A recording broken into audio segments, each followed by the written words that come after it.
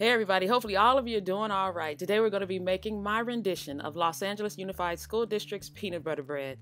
This recipe is decades old and was discontinued, but today I'm going to show you guys how to make it at home. Let's get into it. I'm going to be using my stand mixer for this recipe. I have four tablespoons of butter and I have about one and one fourth cup of turbinado sugar. You can also use regular sugar. I just chose to use turbinado sugar on this particular day. I'm going to cream that with the peanut butter, and that's about one and one fourth cup of peanut butter. Lots of peanut butter. That's one of the reasons why this bread is no longer made. Too many kids with EpiPens running around. So we're just going to cream that together until it's nice and fluffy. Now I know someone is already thinking, can I use almond butter instead of peanut butter? And the answer is yes. To the mixture, I'm to uh, blend in two eggs one at a time, making sure each one is blended in well before adding the next. And I'm going to add some vanilla. That's why I said this is my rendition. The original recipe does not call for vanilla at all, but I like it. So I'm to add my all-purpose flour, some baking powder, and a little bit of salt, and I'm just to sift that together. For this recipe, be sure and check the links below. It's going to take you to gdseasoning.com.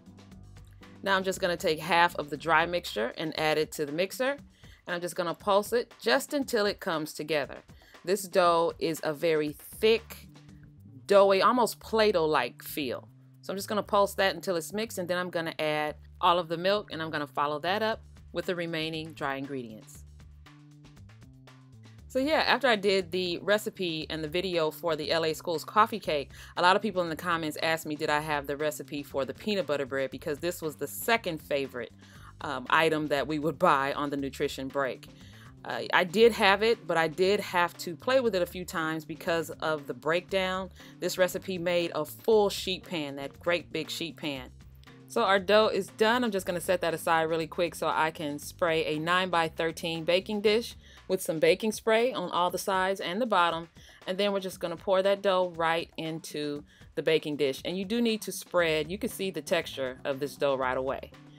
As a matter of fact, this video was shot before I revised the recipe a final time, so your dough will be slightly looser, but I just wanted the best ending product. At this point, you want to make sure you take your dough and spread it with the back of the spatula from the center to all of the corners.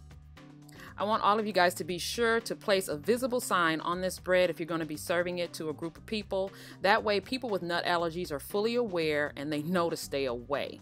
We wouldn't want to set off someone's allergies unnecessarily. And I think that's why not only LA Unified School District, but other school districts have opted to not use products that contain peanuts because you can't tell one student from the next. We're going to bake the peanut butter bread at 350 degrees for about 20 to 25 minutes. Once the bread is done, it almost looks the same as before it went in. It doesn't dome. Remember, this is not a cake. This is bread. I let it stay in the pan for about five minutes and then I invert it and let it cool on a rack for about 30 minutes or so before I add a light icing.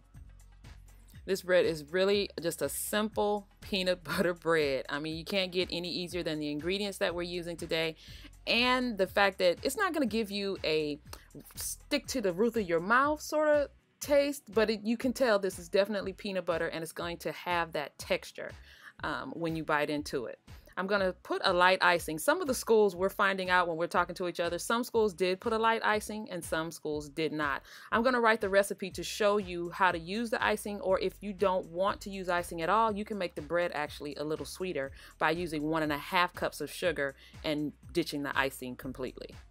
The icing on the bread is very sheer. It's not that thick Hug'em style sort of icing we would put on a pound cake. All right, it's very sheer. And then you're just going to let it dry for about five minutes or so. And then you can go ahead and cut it. Now I'm just showing you how to cut it because you might want smaller pieces than um, larger pieces. So on the right side, I cut a half of it into three columns, and the left side, I cut into two columns.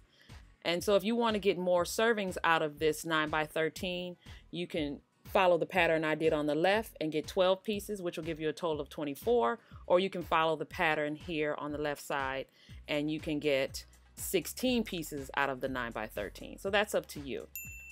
This bread is really rich and moist and definitely has a heavy peanut butter flavor going on. And when I taste it now, I'm like, man, I cannot believe we ate this bread as kids. But that's what we did. Of course, our metabolisms were faster too then.